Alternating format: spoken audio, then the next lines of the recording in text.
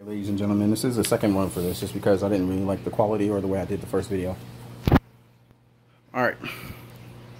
Basically, what I've done now, this was the top minus the, the overhead cover and as you can tell, the back of the aquarium right now, or of the original cage.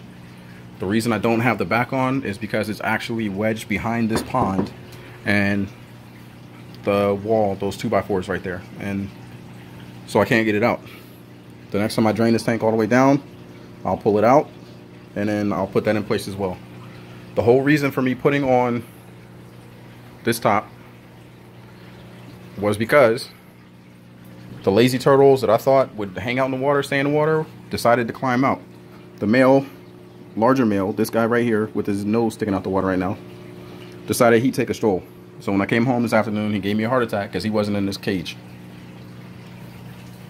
Now to the point in making this video. Somebody asked to see basically my setup.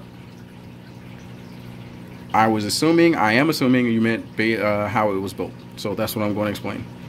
As you can see, I'm using real pre uh, pressed wood, not MDF board or, or, particle board or any other stuff. I use real pressed wood and a 2x4 frame.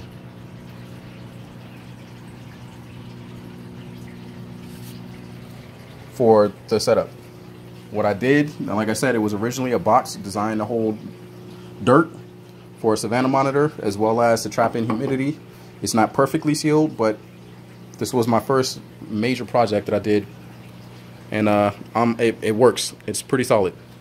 All right, so two by fours all the way around. This is the top. The top obviously wasn't meant to hold the same weight and pressure that the bottom was. I'll show you how I built the bottom here in a second. All right, I'll step back a little so that you can get a better view of it. The thing is huge, so it's kind of hard to get the whole thing in the frame. All right, so dimensions from corner to corner is eight feet. From corner to corner is four feet. And then from down here, top to bottom, is two feet. This one is also two feet. All right, so make a box. Now, if you noticed earlier, and I'll show them again, it actually has wheels. I did this when I designed the monitor cage because I wanted to be able to move it around as I needed to in my garage where I built it initially. And they've actually come in handy since. I don't recommend doing this, especially when a, with a, a container that holds water, but um, so far it's been fine. I'm not moving it anywhere, especially full of water. I'm not going to try. I don't want to break those wheels. I don't want to put any stress on anything, and it's doing fine the way it is. If you notice, compared to the top, I've got more 2x4s closer together.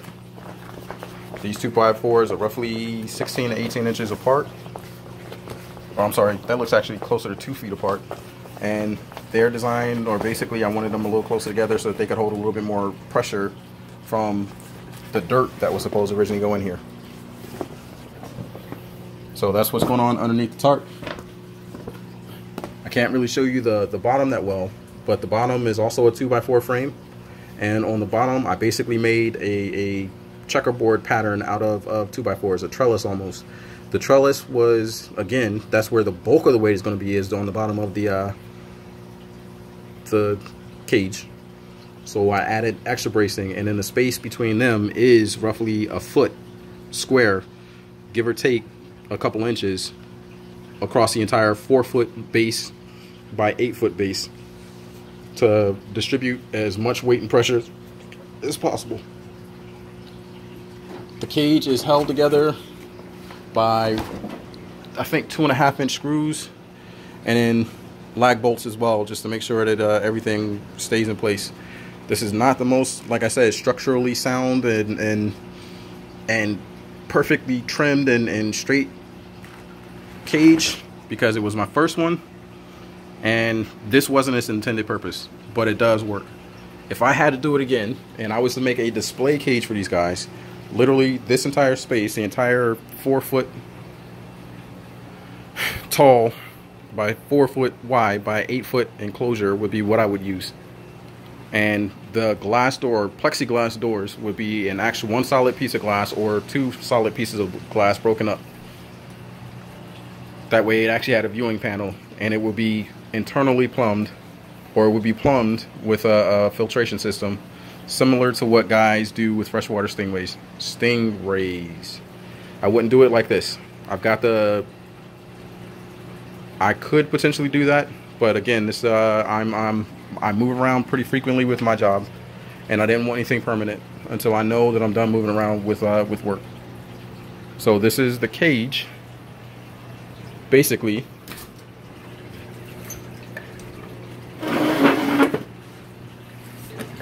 the structure of the cage, basically. And then I'm only putting up these walls on these three sides right now because I don't want for these guys to. I think what happened is he used those two crates as a step stool to slip out that side, then decided to go on a walk.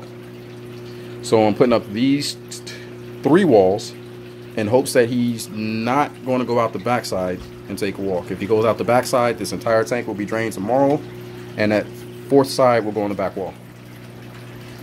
I don't think I have to worry that much about this one because this one is on this corner and, and basically is covered on, on two sides where I think he could potentially escape out of this one.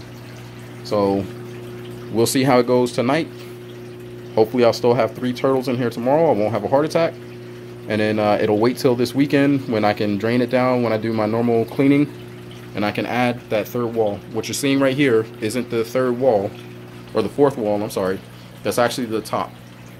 I won't be putting the top on because I don't have lighting to go in here. The lighting that I'm using right now is just uh, the overhead lamp or overhead light for this cage. So that's pretty much in it in a nutshell. Hopefully I answered your question and uh, we'll call it a day.